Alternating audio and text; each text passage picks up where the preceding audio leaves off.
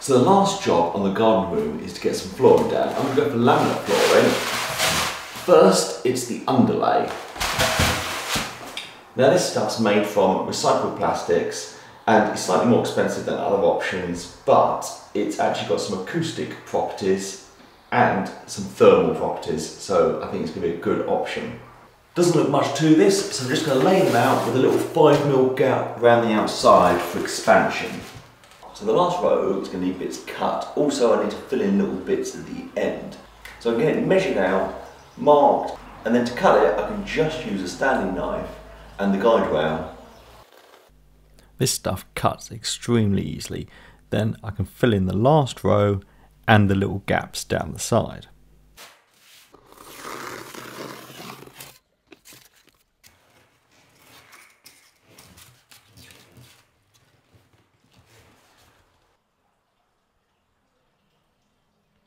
So now to lay the laminate, we've gone for a grey colour, which I think will look nice against the white walls. It's been sat in here for a few days to acclimatise, and now I can start laying it. I'm starting in the left corner, which is the wall with the door on. Now, I also got a little toolkit with this, which has some wedges in. So I can put the wedges around, and that just gets the spacing correct from the walls. This stuff just slots together and is very quick to do. Now I'm at the end of the row and I need to cut a board down. So I can get a board, flip it over, line it up, mark it out, and then get it cut on the miter saw.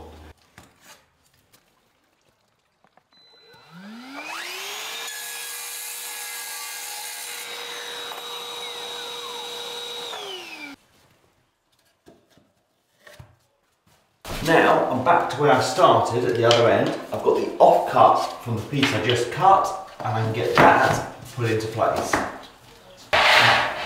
Now, I just keep going until I've got two rows done.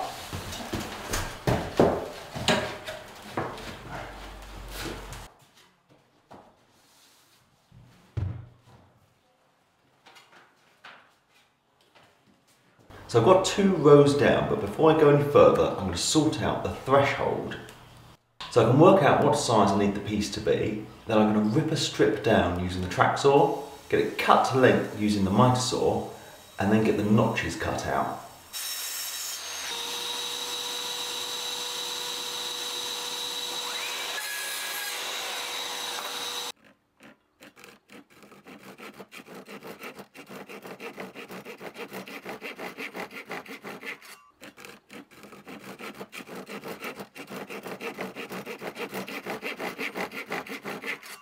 Now I've got this bit cut, I can slide these first two rows back, get this little slither into place, and then push everything back to where it was before, and then just continue the process, working my way down towards the back wall.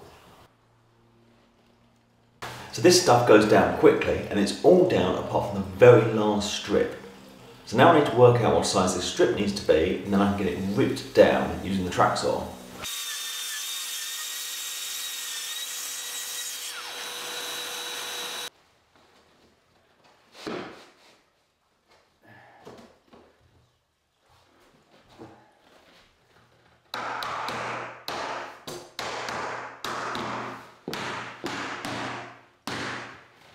These ripped strips can now go into place and they go together the same way, just now I can use this tool to pull everything tight. So the laminate floor is all down in here, but I've got the expansion gap around the outside. So to cover that, I've got these little strips. So that means a lot of miters need cutting. So I'm gonna get the Bosch saw set up and cut some miters.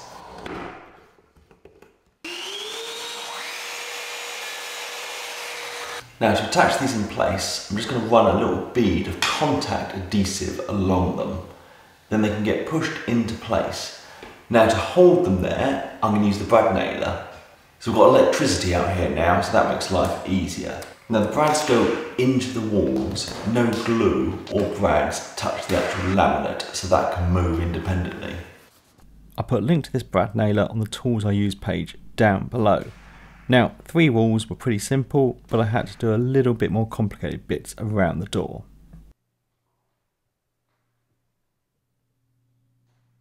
So that's the floor done, and that means the garden room itself is all finished.